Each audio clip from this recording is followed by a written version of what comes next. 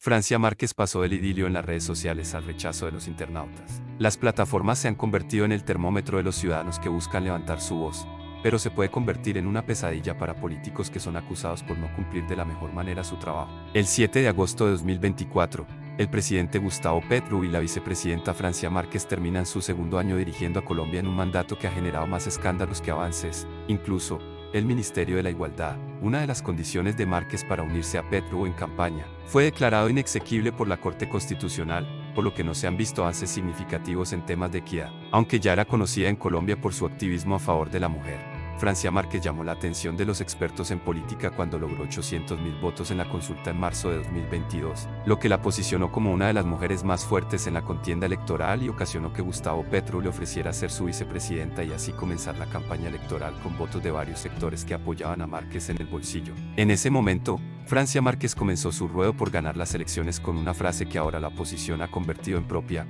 vivir sabroso pues en cada escándalo que sale del gobierno nacional utilizan el que fuera el grito de batalla de Márquez y Petro en 2022. Por ejemplo, en un video en el que la ahora vicepresidenta invitó a votar a los habitantes de un corregimiento de su municipio natal, Suárez, Cauca, utilizó su famosa frase. Mi gente del corregimiento de la Toma, en Suárez, Cauca, sé que nunca soñaron con tener una vicepresidencia, pero aquí estamos. Vamos a votar este domingo para que eso sea una realidad. Vamos por el derecho a tener agua potable. Vamos mi gente a vivir sabroso. Con la emoción de la presencia de una mujer afro en la campaña por la vicepresidencia de la República, las redes sociales mostraron su apoyo a la candidata, asegurando que era el cambio que necesitaba Colombia. También, sirvió para que Petro se acercara a algunos sectores en los que no tenía alcance. Te amo mi negra, gracias por esa lucha incansable que a diario nace de tu corazón por las personas más excluidas de mi país. Eres una berraca, te admiro y sé que vas a ser nuestra vicepresidenta.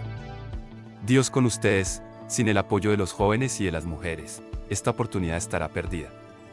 Jóvenes, la victoria es saliendo a votar. No dejen el futuro en manos de los que solo salen a votar con resentimiento. Petro es esa oportunidad para el campo, la educación, la salud, la libertad de pensamiento, la cultura y la lucha contra la corrupción. Mi futura vicepresidenta de Colombia, Francia, ni un paso atrás. Petro presidente cara rezando. Sí, pero, como los habitantes de Suárez nunca se imaginaron que de sus calles saliera la vicepresidenta del país.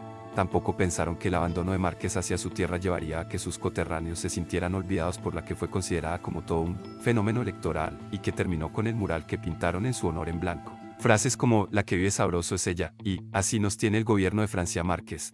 El cambio que nos prometieron fue para mal. Demuestran la falta de progreso de Suárez luego de dos años desde que Francia Márquez fuera elegida como vicepresidenta. Por tal razón, en octubre de 2023, cansados del abandono en los que los tiene el gobierno nacional, habitantes del municipio decidieron pintar el mural de color blanco, un hecho que también se trasladó a redes sociales en las que los internautas no dejaron pasar la oportunidad para asegurar que Márquez solo se la pasaba viajando. Es el sentir de un pueblo mientras ella pasea por el mundo a sus anchas y pasea en nicotero como ella lo dice el resto de los colombianos estamos asfixiados con el costo de vida por esas razones que no la quieren ver ni en pintura. No sirve sino para hacer política, la están utilizando a ella y a su partido que recibieron apoyo porque creímos en sus luchas en contra la minería y ahora que tienen el poder quieren es aplicarla y más en el macizo colombiano despertemos caucanos el pueblo empezó a despertar. Sí, fueron algunos de los comentarios en contra de Márquez y su relación con Suárez. Y es que no solo con su ayuda a su tierra natal la vicepresidenta ha quedado en deuda, también lo ha hecho en muchas de sus funciones, pues Francia Márquez se ha convertido en el centro de comentarios en las redes sociales que demuestran que la mayoría de usuarios no aprueban su gestión, un sentimiento que también quedó reflejado en la encuesta de agosto de 2024 de Invamer, en la que se midió la aprobación de la vicepresidenta, que alcanzó sus números más bajos en lo que lleva en el cargo, pues el 59,6% de los encuestados no aprobó su gestión. Después de cero o dos años me gustaría saber cuántos colombianos que votaron por arroba Petro Gustavo y la negrita Francia Márquez están viviendo sabroso. Bandera triangular en mástil, Francia Márquez con todo un ministerio y no se nota su presencia. La humillación más grande de la comunidad afro es la vicepresidenta Francia Márquez. Francia Márquez traicionó todo lo que dijo representar.